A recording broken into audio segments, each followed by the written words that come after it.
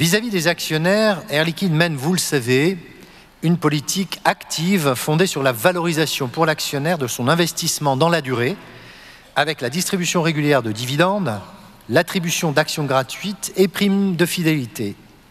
Au 31 décembre 2016, plus d'un quart des actions composant le capital sont susceptibles de bénéficier de, cette prime de fidélité. Sous réserve du vote de la troisième résolution, il sera procédé au versement d'un dividende de 2,6 euros par action et de 2,86 euros par action pour les actions bénéficiant de la prime de fidélité. Je rappelle que sur les 20 dernières années, la croissance moyenne du dividende de votre groupe est de 9,5% par an.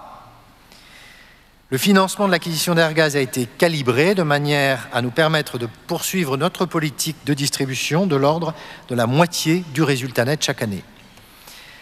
Enfin, fidèle à sa stratégie actionnariale, le Conseil a également décidé cette année de proposer l'attribution au second semestre, j'ai dit tout à l'heure trimestre, mais c'est second semestre 2017, d'une action gratuite pour 10 détenus. Ces décisions s'inscrivent pleinement dans la politique d'Air Liquide de rémunérer et de valoriser l'épargne de ses actionnaires dans la durée, comme l'illustre l'évolution que vous voyez à l'écran d'un portefeuille d'actions Air Liquide ouvert il y a plusieurs années.